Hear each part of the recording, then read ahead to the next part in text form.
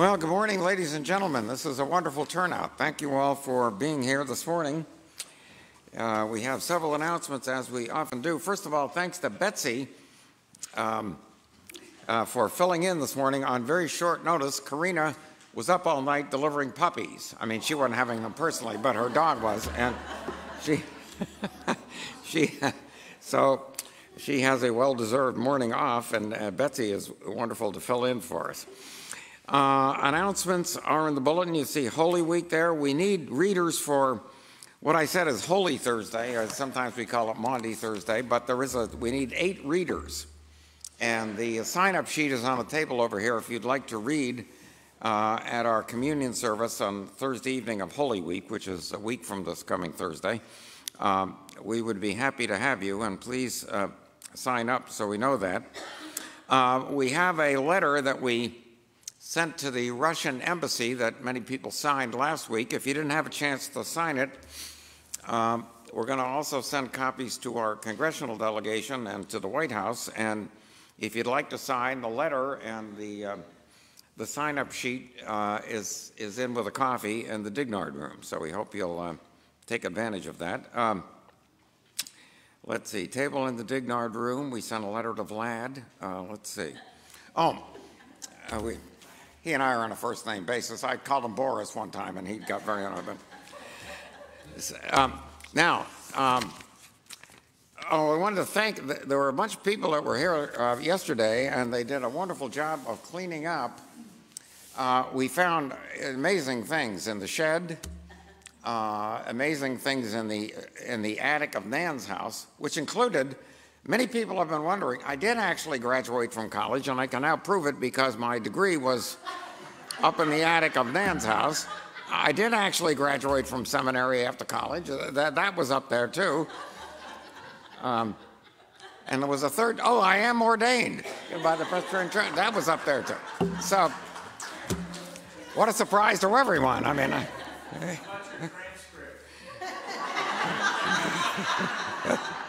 no sign of those, fortunately. I think that was good.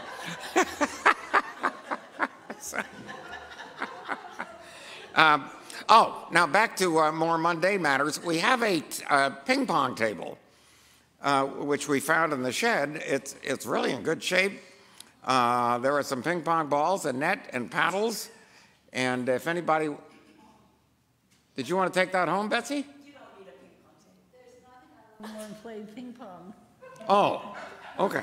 Well, if anyone would like to, you know, we're not selling it, we, we just have it. So if anybody would like, it's in the Dignard room. You can take a look at it uh, afterward. Okay. So we have, um, uh, next week we'll be collecting, uh, as we do annually, the one great hour of sharing. And uh, I, I, asked uh, Craig if he would share with us some thoughts about this. He served as a missionary at one point. Some of the, the money goes to missionaries, and it all goes to mission. And so, Craig, if you'd like to share, that would be great. And probably you should use that mic there or come up here if you want. Three weeks ago in uh, his sermon, Woody uh, talked about a parable, and uh, in that parable, a lawyer asked a question. Do you remember what that was? Who is my neighbor? Today, we have uh, ample evidence of who our neighbors, neighbors in need, are. Uh, we've been um, inundated uh, by images uh, on television and in newspapers uh, of the horrible uh, events in Ukraine. Who is my neighbor? Well, um, our neighbor is those folks in Ukraine. Uh, we also read in our papers about natural disasters across our country and the world. There our neighbors are once again. So um, who is our neighbor? Well, we know by now. Um, we can watch that news and listen to those reports and uh, begin to feel powerless. You know, how can we possibly make any uh, dent uh, in responding to those uh, crises around the world? And uh, it's, uh, it's possible to begin to feel despair.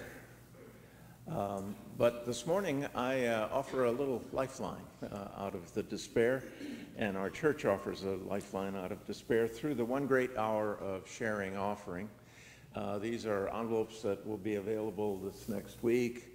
Uh, and then there's also an, another brochure about the One Great Hour of Sharing offering that originated after World War II and uh, in, in the United States. And uh, to this day, there are still eight to 10 denominations which participate in the One Great Hour of Sharing offering. So you can imagine if we take uh, all the churches in 10 denominations and put them all together, uh, and they all take an offering together, uh, that can make a real difference. Not only that, but uh, this offering and, and many uh, offerings to the national churches uh, have very low overhead. That is, most of what you give, in fact, 90 to 95 cents of every dollar that you give to uh, One Great Hour of Sharing gets to the point of need. And that's because the denominations um, provide the overhead, if you will. They, they pay for the printing and for the distribution and for the administration of these funds so that the money that we give uh, gets to uh, the people who are most in need. Living where we do, it can be uh, difficult to imagine, um, well, difficult to imagine what's, uh, what it's like to live in a, in a basement in Ukraine for weeks uh, without food, without water, uh, what it's like to live uh, in poverty in various places around the world. Uh, Woody mentioned that Ellen and I had served the wider mission of the church in Micronesia. This is a long time ago. Micronesia is way out in the ocean. 2,000 islands. You put them all together, they're the size of Rhode Island. They're spread out over an area of the ocean the size of the continental United States. Um, when the, Woody, Woody would love uh, playing baseball there because uh, uh, the kids reported that uh, they would set up home plate on one side of the island. and a home run was when you hit the ball into the lagoon on the other side of the island. Um, so some of these islands were, were pretty tiny. We also, uh, uh, in addition to learning about uh, baseball on an island, um, we also learned about poverty um, and had an opportunity very early on in our um, marriage uh, to see and experience that kind of poverty. We were responsible for keeping track of the kids at the school. It was a boarding school, and one of one of the jobs, which I hated, but anyway, it was a job I had to do, was to inspect the kids' lockers to make sure that, you know. Well, uh, uh, I can't say that I ever found anything that I wasn't supposed to find in those lockers, because in fact, one found almost nothing in those lockers. Uh, a shirt and a pair of pants. So I was in the boys' dorm, shirt and a pair of pants. Uh, and one knew that the other shirt and pair of pants they were wearing. And so they, you know, they had two shirts, two pairs of pants. They swapped them back and forth.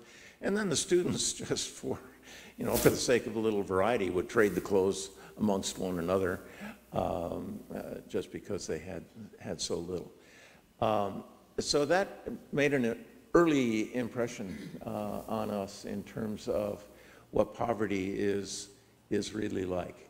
Uh, and those, uh, those students uh, were certainly uh, in need and are served, uh, people like that are served through the One Great Hour of Sharing offering.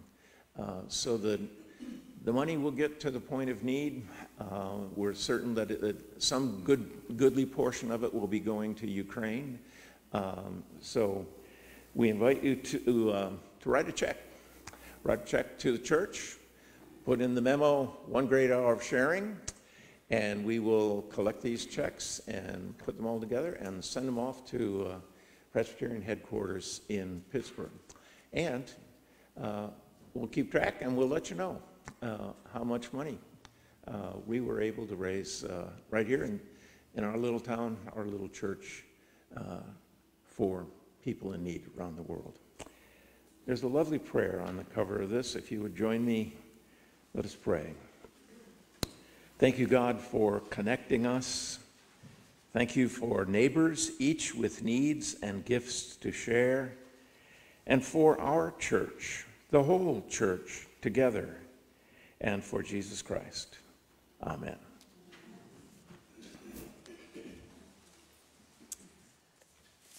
Thank you, Craig. That was very nice and very meaningful. You all know what poor preaching is if you come here, but poverty is another thing financially, and he certainly raised that with looking in those lockers. That's an interesting point. And I did want to thank um, uh, the Wednesday morning uh, study group that's been studying uh, the Psalms, and uh, they put together a kind of a modernized version of Psalm number uh, 74. So when you get to the responsive reading, that's the insert in your bulletin. I think they did a very, very good job. I think the bulk of the work, uh, the heavy lifting there was was Craig and Dick, but um, Dick Backus. But that was a wonderful um, job there and very timely. Okay, are there other announcements we should make? Yes, Rob. Wait, wait, wait, wait, wait. Use the mic because. I just wanted to extend the welcome to anybody and everybody, um, school age, if they wanted to come for children's uh, Sunday school service after we're dismissed from Reverend Woody, we'll be going up the hall and having a class. So you're welcome to come, and that can be ages kindergarten and on. And if you want to come too, adults are welcome as well. So I wanted to echo Woody's sentiments, thanking everybody that, that turned out for our cleanup day yesterday. If, uh, if you missed yesterday, we still have an opportunity for you to help. Um, we have a number of boxes up in the attic uh, that need to come into my pickup truck so I can get them to the transfer station. So um, we'll be probably in the Dignard room right after um, if you're interested in helping. Thanks, Rob. Yeah, great job there yesterday. Okay, anyone else? Yes, Lydia. Session meeting on Thursday, 7 o'clock. Okay, session meeting on Thursday, 7 o'clock. Any, any other announcements? Any birthdays, anniversaries, bar mitzvahs? Yes, Lydia. Kelly and I are celebrating 40 years tomorrow. 40 years of marriage? Wow.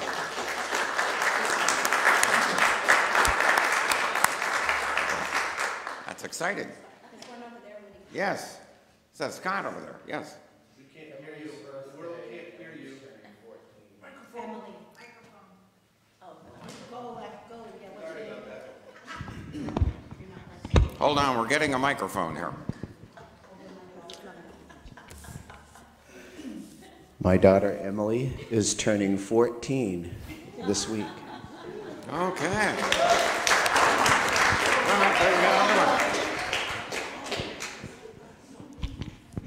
And Josie had a birthday on St. Patrick's Day. She turned 10. Okay.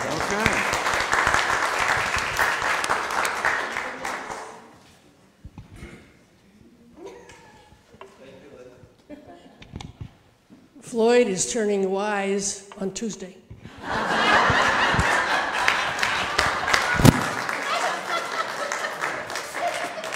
Okay. anyone else? Is there anyone not having a birthday? Uh, okay, well, let's, uh, sing a happy anniversary and happy birthday.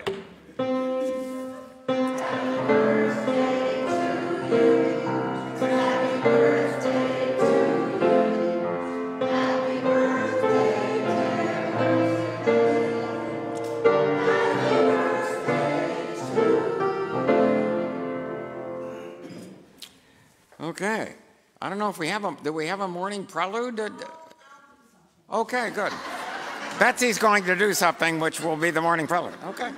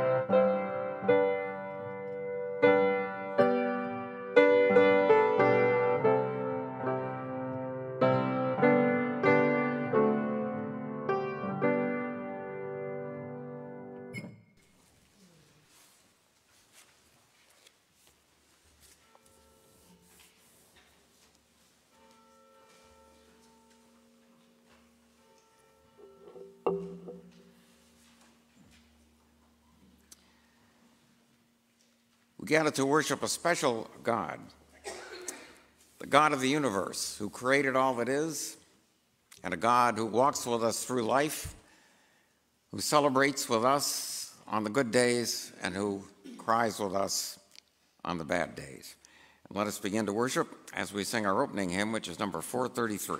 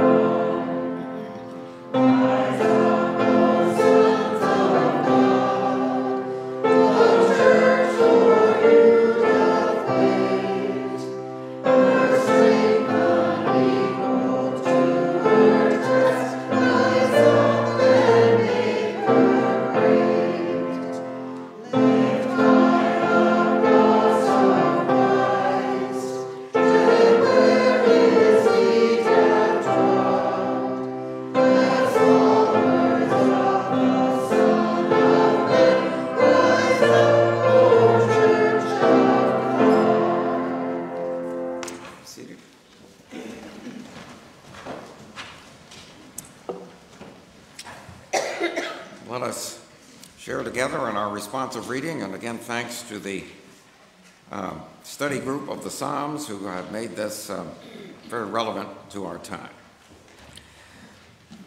Oh God, why do you turn a blind eye to our daily news and eternal hopes for peace? Remember those of us in your congregation and people scattered around the world which you created long ago. Direct your gaze to the ruins of Ukraine, where Russia seems intent on destroying everything. At Mariupol, they have hacked off the faces of buildings with missiles and artillery. They set schools and hospitals on fire. They declare, we will utterly subdue them. How long, O God, is Vladimir Putin to scoff?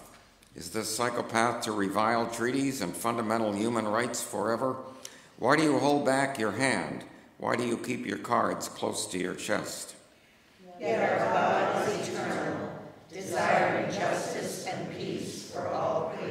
You, O God, cut openings for springs and torrents. Yours is the day, yours also the night. You establish the stars and the sun. You have fixed all the bounds of the earth. You made summer and winter. O God, you have done all this. Can't you see how autocrats around the world scoff at our democracy, scoff at our democracy, and encourage the fringes of our society to flirt with dictatorship?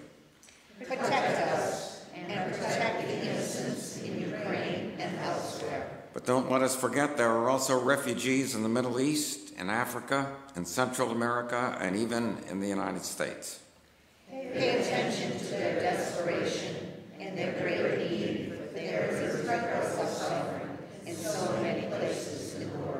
No matter their customs, their language, their religion, their skin color, their poverty.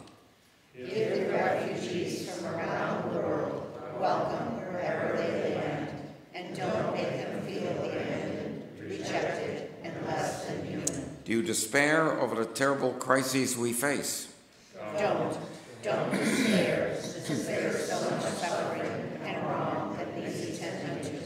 Everywhere around the earth, the enemies of freedom, of love, of compassion, and kindness are waging war in order to gain power and wealth to do as they please. Is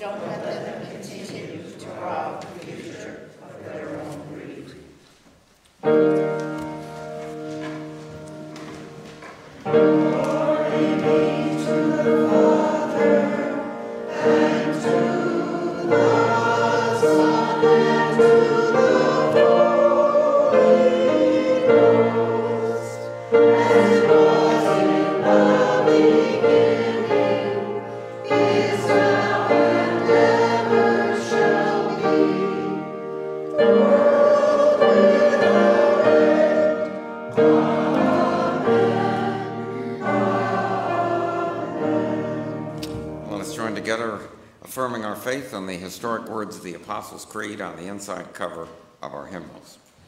I believe in God the Father Almighty, maker of heaven and earth, and in Jesus Christ, his only Son, our Lord, who was conceived by the Holy Ghost, born of the Virgin Mary, suffered under Pontius Pilate, was crucified, dead, and buried. He descended into hell. The third day he rose again from the dead. He ascended into heaven and sitteth on the right hand of God the Father Almighty. Thence he shall come to judge the quick and the dead. I believe in the Holy Ghost, the Holy Catholic Church, communion of saints, the forgiveness of sins, the resurrection of the body, and the life everlasting. Amen. You be seated.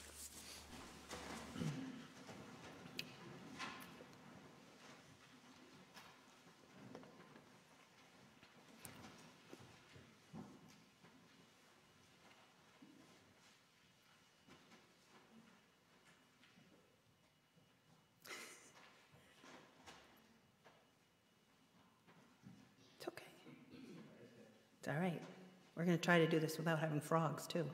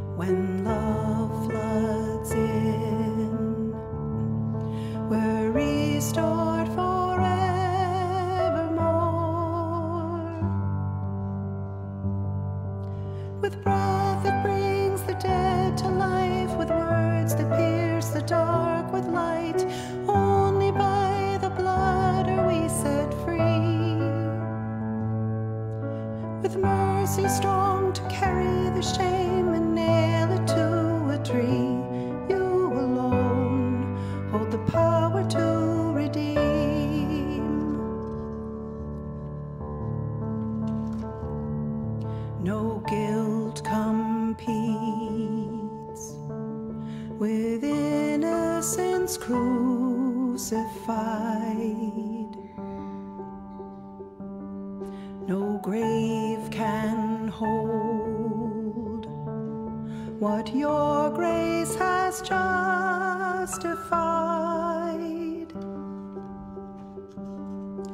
With breath that brings the dead to life, with words that pierce the dark with light,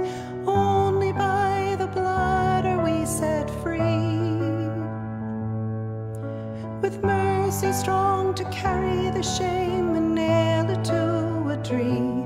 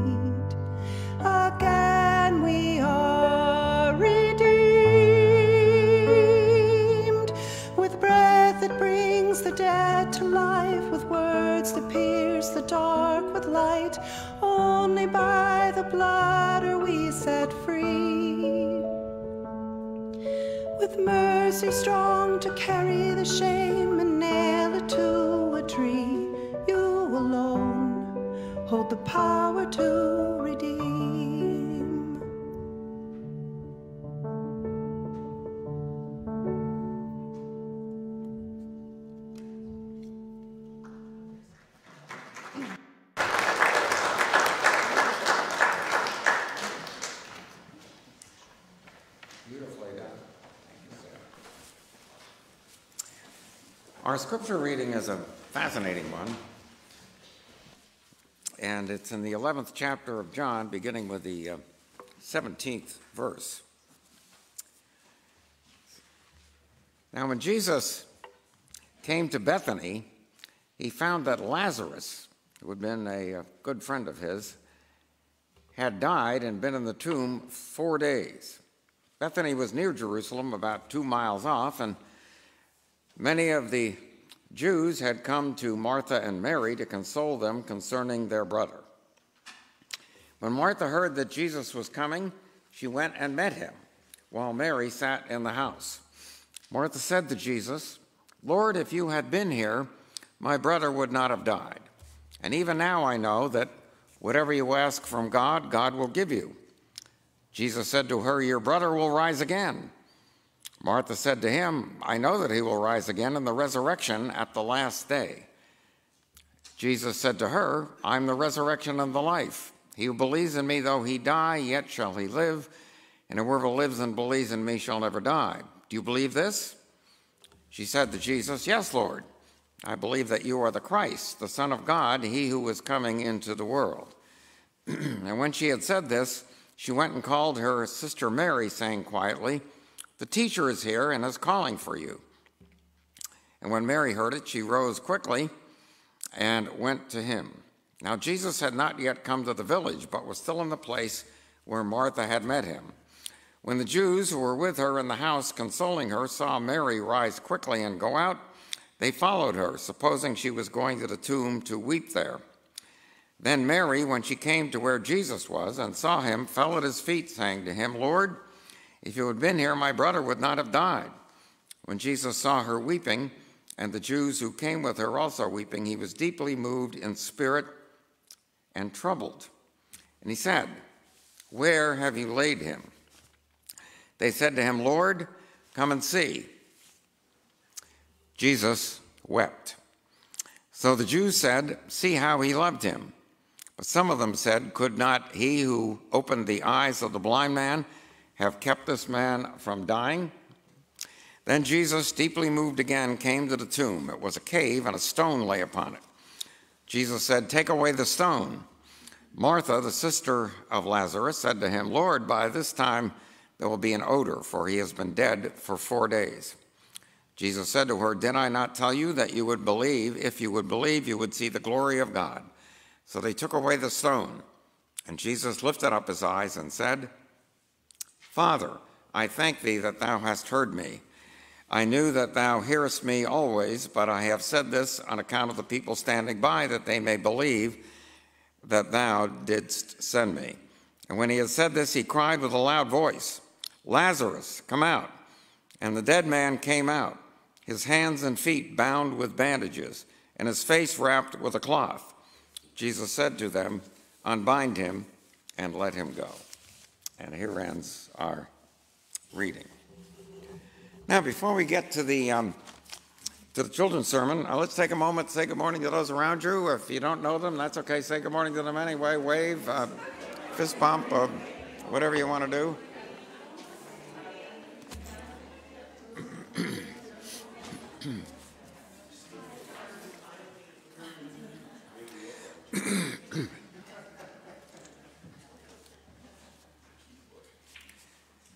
well, as for children's sermon, I just thought I would um, talk to kids about something. There are all, uh, we all of us in our lives have times when we feel alone. There's nothing, uh, perhaps, uh, that we, no place we feel more alone than in a crowd of people where everybody knows each other. Whether it's the first time you come to a church and the people are there you don't know, and you feel like, wow, is anybody going to say hello to me, or is anybody going to welcome me, or is anybody going to show me where the coffee is, uh, you know, anything like that? Uh, I'm sure it's that way. Been a long time since I first started school, even though I now have those um, degrees that I did find. I feel much better about it. But um, I thought maybe it was just my imagination that I had done that. But um, first day you go to a new school, you have new kids in your school, boy, there's nothing as difficult as the first day of first grade or readiness, uh, or the first day in a new school, no matter what grade you're in. Um, one thing that kind of got me through some tough times was the idea that even if I was alone, God was with me. I guess I grew up in a house where I always kind of learned that. And that gives you great feeling that someone is with you. And God's with you in, in two ways. God's with you, His Spirit is with you. You can talk to Him. Um, but God is also with you through the people at that place that welcome you and come up and talk to you themselves. And God wants us to do that for each other. When we see somebody that's lonely um, uh, or new, we don't make fun of them, we welcome them and we make them part of the group. And I think that's, uh, that's an important lesson uh, for all of us, uh, kids and adults. Um, we need to make more of our um, group feeling, I think, not just uh, in church, but the church needs to reach out and um, make everybody part of the group, whether they come to our church or another church, or they don't go to church, or they go to a synagogue, or whoever they are. God loves them. God's with them. They may not even think about that or be aware of that, but um, God's with them in another way when we reach out and uh, befriend them, become their friends. So that's our children's sermon for today. Um, you come back when you're in town, Lynn. Um, well, I found, uh, you know, the weather's been uh, very strange. It's, uh, you know, it was 70 degrees a couple weeks ago, and then it was 20 degrees this week, and the wind is blowing a lot. Have you noticed how much the wind is blowing this year? It's, um, so it's been really, you're looking for signs of spring. And um, I did find one recently. Um, I went to put my, uh, my shoes on, and I had a spider in my shoe. Well, I told him he looked silly. The shoes were way too big for him. So, but I was glad to see him because it was a sign of spring. That, kind of bugs you, doesn't it, that joke? But anyway, forget that. Uh, well, um, I think today's um, scripture reading is another account that we often hear, but we miss the impact of it because, you know, we hear it in church, which is a nice, friendly place, and we don't think what that means. Um, I think it's a very significant uh, story, uh, and it really reveals who God is, I think, in a very, very human, a very important way. I mean, here you have Jesus' friends. These are his friends. These are not quote unquote disciples, not the official 12 there that they had, but these are friends of his. I mean, there's another story in the Bible where he he goes to their house in Bethany and he was getting pretty well known at the time, so a lot of their neighbors and friends in town, the town of Bethany, a little bit outside of Jerusalem, uh, uh, came to see him. And so they all sat in the living room, all the men, and uh, Jesus was teaching them. But Lazarus, and Lazarus was in there with him, but his two sisters, women were not supposed to be taught under the uh, Old, in Old Testament uh, times. Uh, they were not to be taught to read or write. Um, they were uh, uh, more important for them to serve lunch. So one of the two sisters, I always get the two mixed up, but one of them goes out to the kitchen, starts making sandwiches. Here she got this living room full of people listening to Jesus, but her other sister stays uh, in the room where Jesus is teaching. So she's getting overwhelmed with trying to make sandwiches for all these people. So she comes back out to the living room. She says, Hey, sis, come. He says, Come in here. Jesus, would you please tell my sister she's, she's not supposed to be in here? Send her out to the kitchen. I need help. Jesus was very understanding of that, but he said, in a very kind way, Well, she's chosen the better path. In other words, she's chosen to listen to my teaching, which was a significant step uh, in, in a long battle in the church for the equality of genders. I mean, that was a really significant thing he said there. We don't usually get that as being particularly significant. And I think uh, that's true with a lot of Bible stories because we hear them and we don't realize this is a real life situation being described. Um, so, in the story of Lazarus, Obviously, we put a lot of emphasis whenever we talk about this on Jesus' power to resurrect Lazarus. He brings him back from the dead. Um, and by the way, just uh, as a little aside here, the verse uh, John 11 39 has an interesting translation in the King James Version of the Bible. You know, there are various translations. The King James Version, the, the one we read here from the Revised Standard Version says, uh, Martha, when he says, take the stone away from the place where he lay, she says, you know, Lord, by this time there will be an odor. He's been dead four days. Uh, the King James Version reads, he stinketh. That's correct. But anyway, um, so they uh, take the stone away, and Lazarus comes out, and this is a great message. Uh, our God is revealed in that. He has the power uh, to bring life beyond life. But I think there's another verse just before that uh, that's just as significant, and we don't usually talk about that. Uh, Jesus knows he's, he, he, can get Lazarus back out of the uh, tomb. But he feels the pain of Lazarus' sisters, of the many neighbors who love Lazarus, who are, who are gathered around. They're all weeping. And he feels his own pain. This was his friend. And what does he do? Before he takes Lazarus, uh, calls him back out of the tomb, it's the shortest verse in the Bible, verse 35 of John 11. Um, Jesus wept. Imagine that. Jesus wept. Um, and I think that's a very important verse because it shows us that the God we worship is not some, uh, you know, lightning bolt throwing a, a creature up in the heavens who's indifferent to human beings at all. He feels our pain. He understands our sadness. He is with us on good days and bad days. He wept, he weeps with those who weep, and he celebrates with those who celebrate. In our Wednesday morning uh, study group on the Psalms, um, which is wonderfully carried on uh, with great guidance by uh, Craig, who is just a great teacher, um, we've come to realize that the book of Psalms, which is kind of a worship book, um, contains a lot of lamenting. You maybe even could uh, take the lamenting and, and uh, to put a more modern word to it, complaining. Uh, there's a lot of complaining by the uh, folks that wrote the Psalms, uh, understandably. Life is difficult.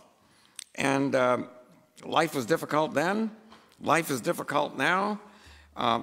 it's very truthful uh, when they complain about the pain they feel at points in life, just as we do.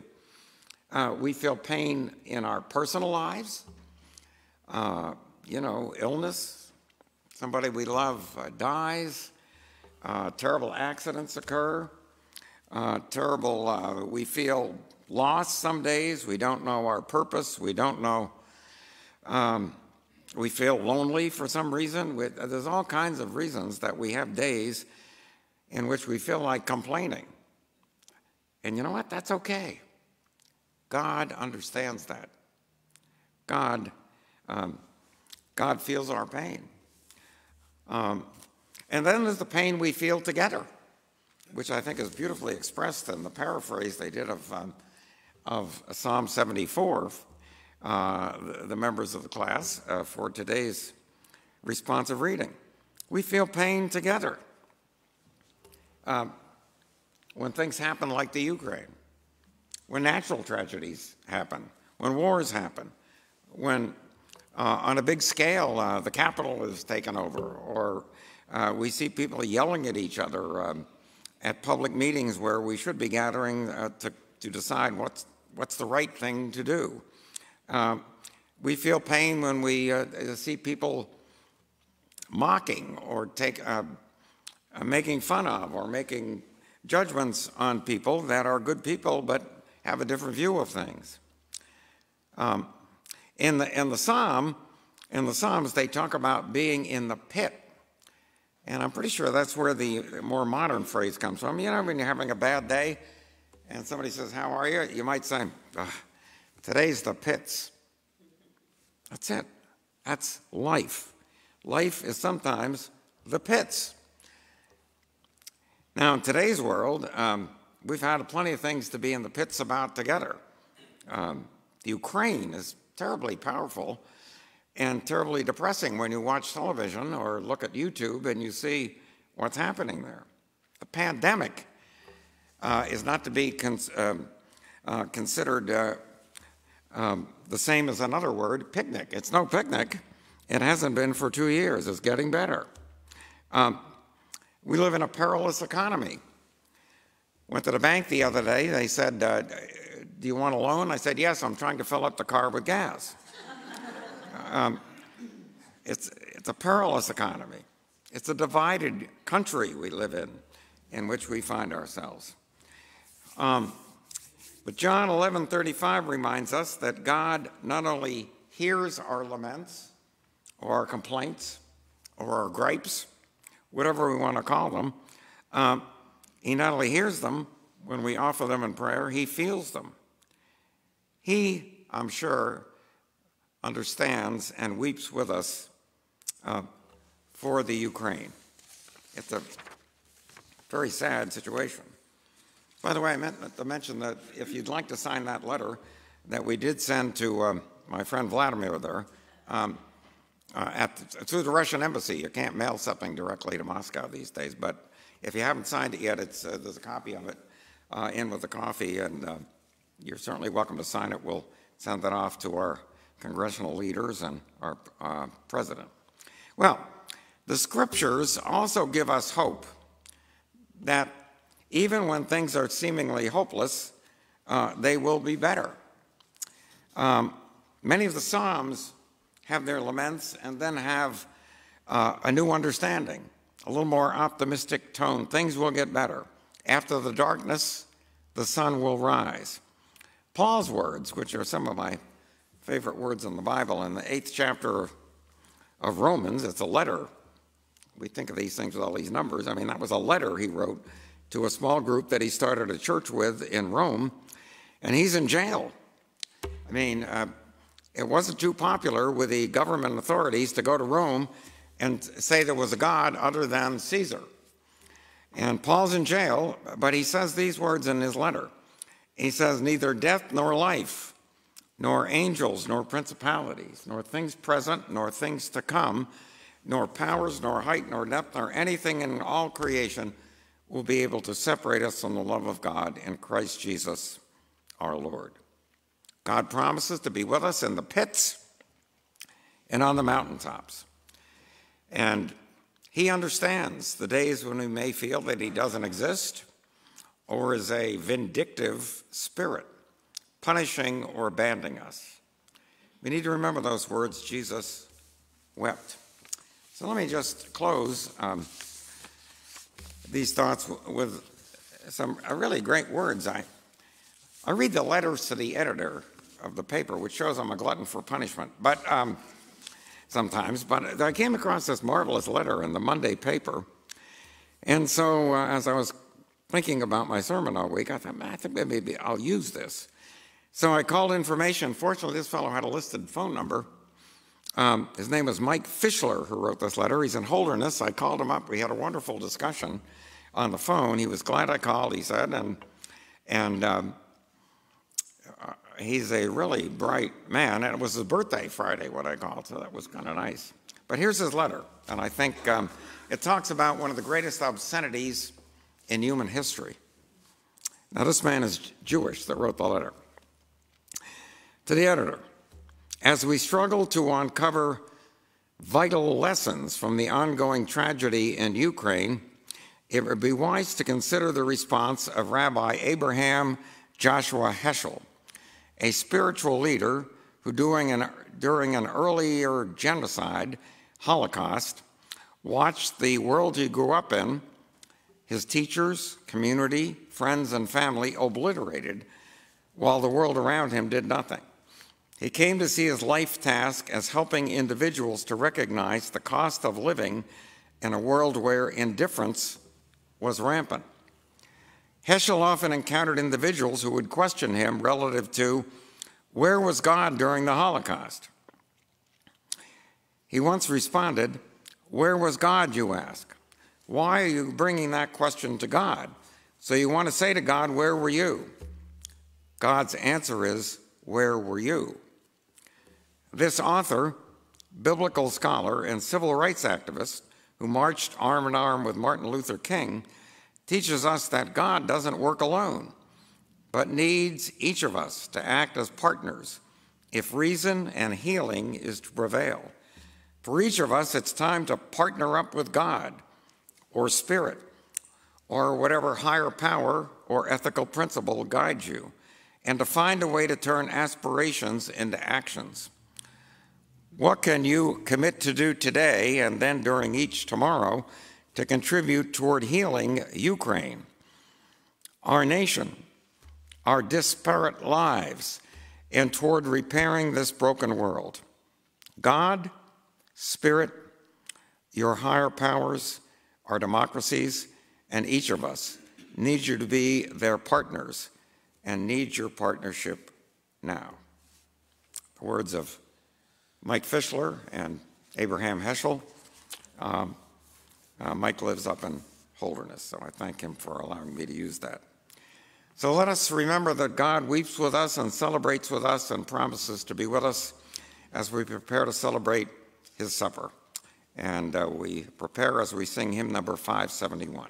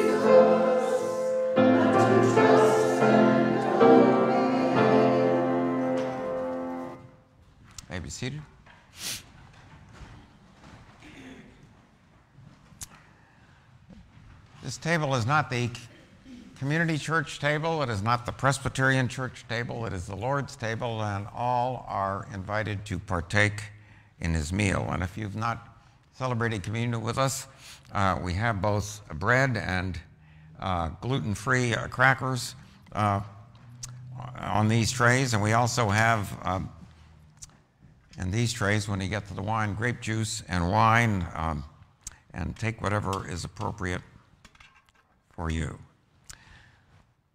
Scriptures tell us that on the night in which he was betrayed, Jesus had supper with his disciples, supper we shall commemorate on Holy Thursday with communion. And after they had eaten together, he took bread and blessed it, broke it, and gave it to them and said, Take and eat. This is my body, which is about to be broken for you. This do in remembrance of me. And in the same way, he took the cup and he gave it to them. He said, This cup represents my blood, which is about to be shed for all of you for the forgiveness of sins. As often as you eat this bread and drink this cup, you do show forth my death until I come again. Let us bow together in prayer. Gracious God, our Heavenly Father,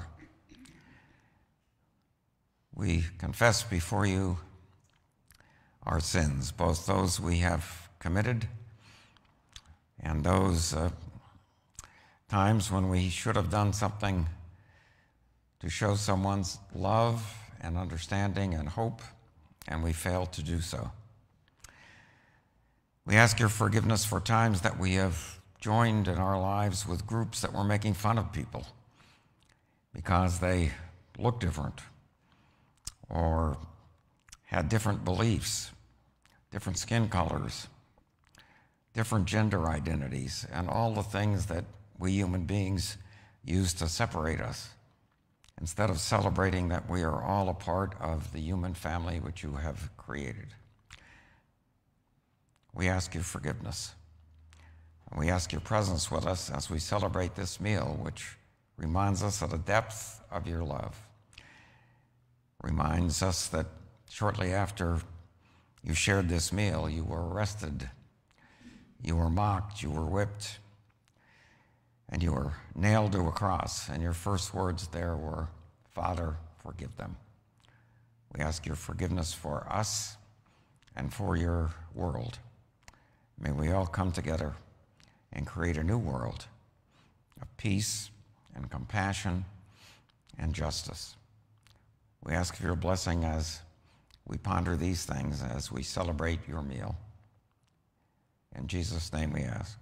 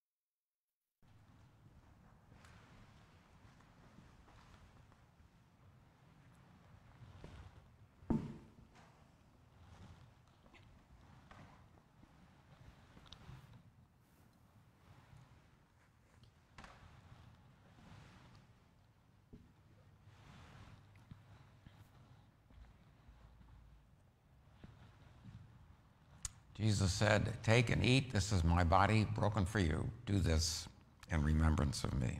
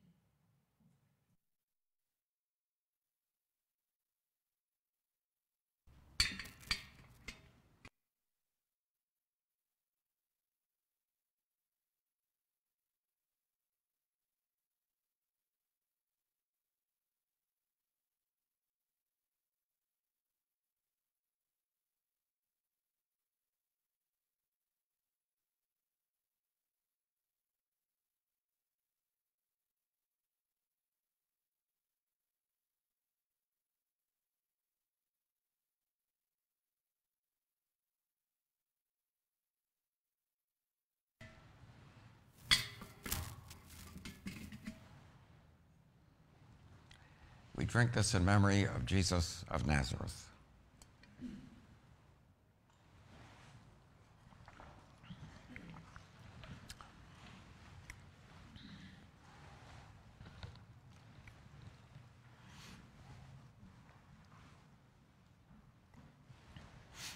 Let's join together in the prayer Jesus taught us, praying. Our Father, who art in heaven, hallowed be thy name. Thy kingdom come, done, on earth as it is in heaven. Give us this day our daily bread, and forgive us our debts as we forgive our debtors. And lead us not into temptation, but deliver us from evil. For thine is the kingdom, and the power, and the glory forever.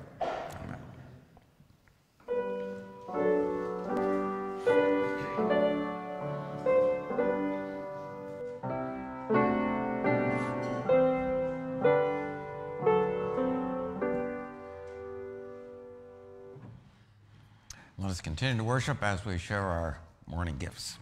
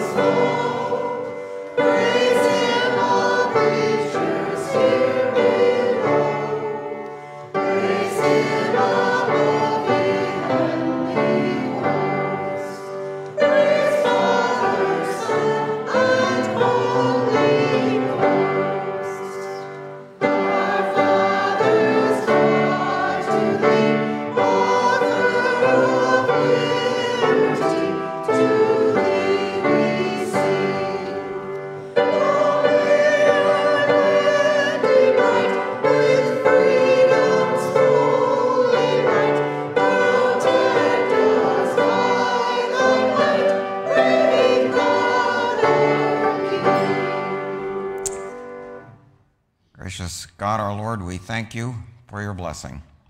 We ask for your presence and we ask for your support that we may work with you to make the world a better place. Bless these, our offerings, and bless us in Jesus' name. Amen. Amen. And our closing hymn is number 642.